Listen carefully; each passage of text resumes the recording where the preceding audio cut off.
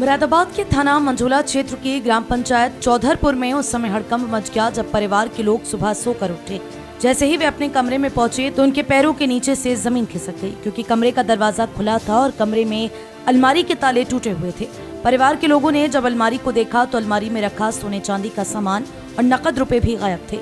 परिवार के सदस्य द्वारा बताया गया कि अभी पिछले हफ़्ते ही उनके बेटे की शादी हुई है और शादी में बुलेट मोटरसाइकिल लाने के लिए ससुराल से मिला कैश भी रखा था।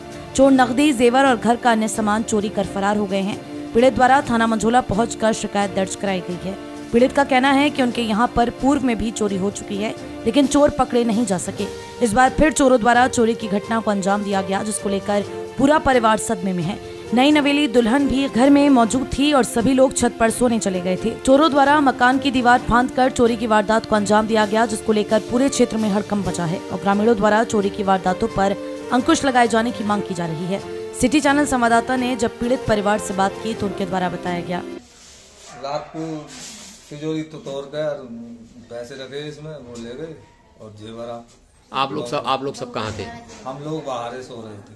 अच्छा तो आपको कब पता चला कि आपके यहाँ चोरी हो गई है? सुबह को बहू उठी जब जब पता चला।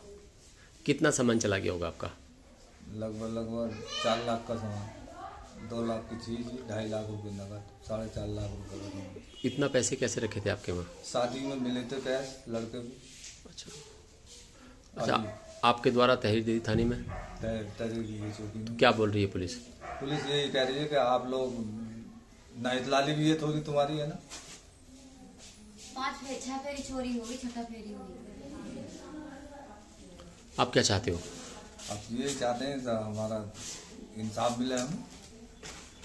पहले भी कभी चोरी हुई है यहाँ पहले भी कई बार चोरी होती थी पर यहाँ चोरियाँ होती रहती चोरी का पता ही नहीं चलता आज तक पता ही नहीं चला। इस बार ये हमारे दिल से है कि अभी जो भी चोर है वो सामने तो आवे